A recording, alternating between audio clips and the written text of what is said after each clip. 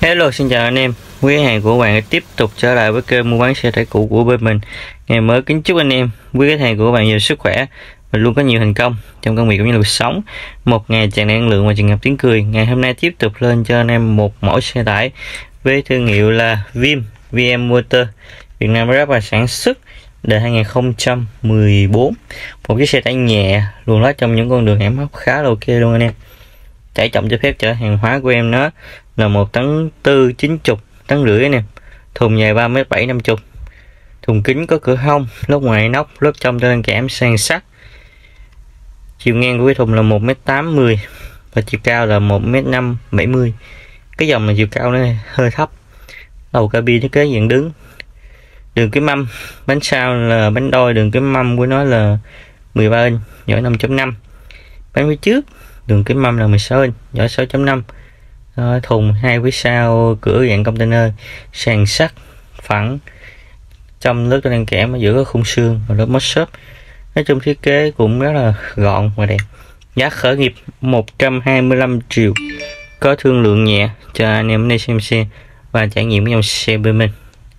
Thùng còn rất là cứng máy im ru máy chủ cũ mới làm lại không đổ hơi không hơi thừa à, ờ, mọi thứ đều rất là xịn chassis bao dày bao cứng. Vỏ lớp ga em còn rất là cao, xe đăng kiểm cũng còn đến tháng 10 năm 2023 đầu cabin thiết kế dạng đứng, rất là hầm hố. Nếu anh em quan tâm cần những cái xe khởi nghiệp giá bình dân đời cao, thì đây là một sự lựa chọn mình cũng khá, thấy là tương đối khá là tuyệt vời. Cho anh em, quý hàng của bạn ở sự đầu tư, kính quay tay. W ly cửa rất là sang trọng, vô lăng to, trợ lực nhẹ nhàng đó, số máy năm số tiếng một số lùi vô số nhẹ nhàng im ru. Ghế một da ba chỗ ngồi sang trọng tắp đi đôi cửa nhìn còn rất là đẹp. Kính quay tay mọi thứ đều rất là ổn. Xe này mưa và chỉ việc chạy thôi nha em không cần phải làm gì nhiều.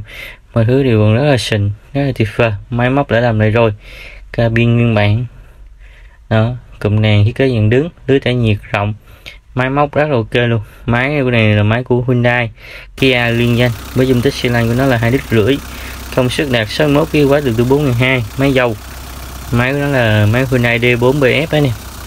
Nói chung máy cũng rất là khỏe nha, cũng rất là mượt mà chạy cũng rất là sướng, rất là im nếu anh quen trong cái dòng xe khởi nghiệp giá hơn 100 nhú như thế này, thì có thể liên hệ trực tiếp mình hoặc đi xem xe, trải nghiệm lấy thử.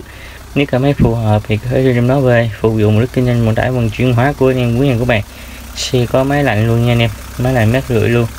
Nói chung là mọi thứ đều rất là ổn. Máy lạnh, cabin, đứng, rộng rãi, thoải mái, thùng bọng cứng. Sexy và dầu cứng, máy móc im. Giá khởi nghiệp 125 triệu, bao rút hồ sơ gốc cho anh em quý hàng của các bạn. Nếu anh em quý hàng của bạn quan tâm, thì cứ đây xem xe, trải nghiệm lấy thử nếu cảm thấy phù hợp thì khởi đưa em nó về. Phục vụ nước kinh doanh mình trải bằng chuyên hóa của anh em quý hàng của bạn. Cảm ơn anh em. Quý hàng của bạn đã hiểu cái video báo giá của mình. Xin chào. Hẹn gặp lại anh em. Quý hàng của bạn trong những cái video báo giá cũng như cập nhật liên tục tình hình những cả xe để của tiếp theo của mình. Cảm ơn rất nhiều. Xin chào. Hẹn gặp lại.